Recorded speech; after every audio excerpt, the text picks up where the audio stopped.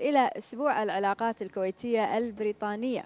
لندن كانت وما زالت من أهم وجهات السفر المفضلة للكويتيين. كونها مدينة فريدة ومميزة بمعالمها السياحية والأهم أنها تتميز بسوق جبار.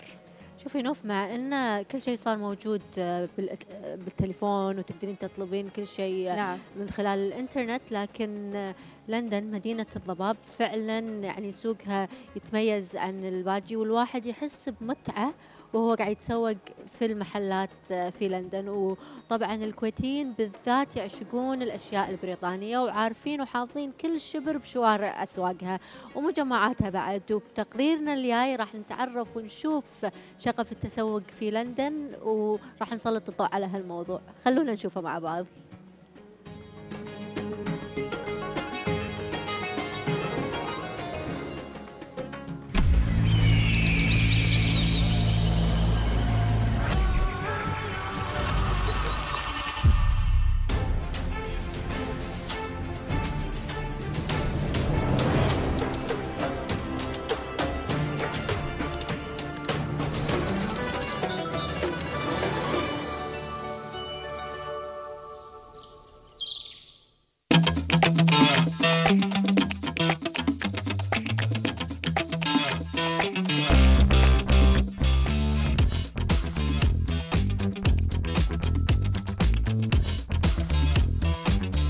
عطلة الصيف.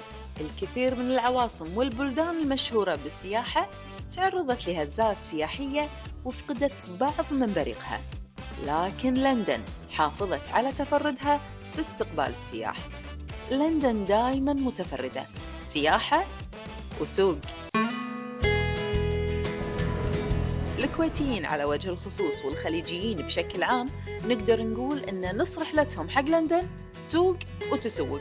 الصراحة ما ينلامون. منو يقدر يقاوم التسوق بشارع أكسفورد؟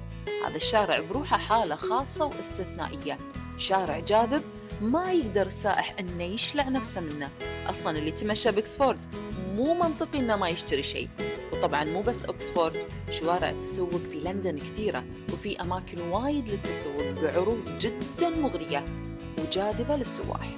هذا إذا تكلمنا عن التسوق.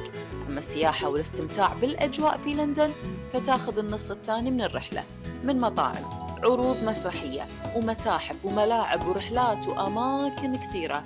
تخلي لندن فعلا متفردة.